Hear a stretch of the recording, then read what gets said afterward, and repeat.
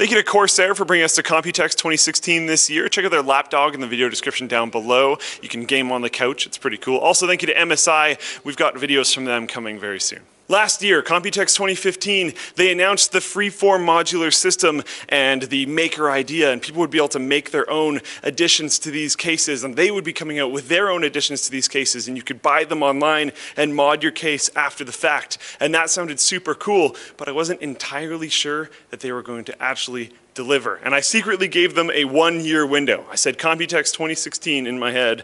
If they didn't do it by then, I would grill them. But they have, so let's check it out. We're going to start with the Mastercase Maker 5T. The outside of it is the main thing that I like, but I do believe that you will be able to buy this as a full system. I'm getting a nod from behind the camera, so that's fine. But you can also buy the individual bits for the outside, which is like the whole point of the Mastercase. So if you wanted to add on the handle that's on the top, you would be able to add that on to your Mastercase 5, or the front, or whatever, or buy the whole thing by itself if you haven't bought a case yet. I think this is great. I love handles. Whenever I look at a case, if I like it enough, I usually just wish that it had a handle. So if you have one of these and want to upgrade, they're not entirely sure what color they're going to do yet, but they're getting very good feedback on this deep red, and it will come in a color. So send them feedback on their Twitter handle and let them know if that's the color that you like, and you can add a handle to your case.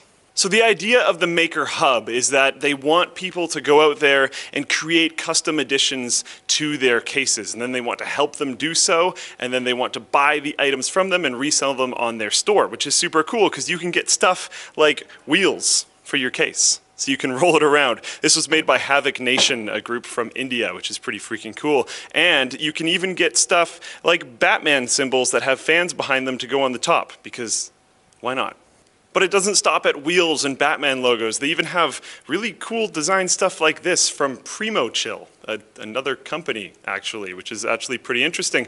And they're specializing in bringing people together. Part of the Maker Hub is showing off the modders and what they do, where they came from, how they got inspired, all that kind of stuff, and allowing them to connect so that they can work on things together maybe and make cool contributions to the entire project and grow as a community. They have things like keyboard keycaps as well and custom things for your mice. It, it, there's tons of stuff and it's going to constantly grow. One of the reasons why I'm not spending a whole bunch of time on each individual one is you should probably just go to the Maker Hub and see what they currently have available.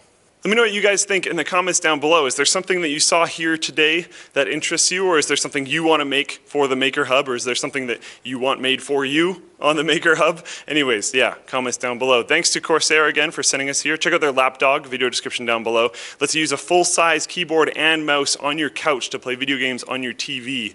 Pretty cool. Also, thank you to MSI. Check out their Aegis X desktop and their GTX 1080. We will have videos on those as well. Stay subscribed to Linus Tech Tips for all of our Computex content.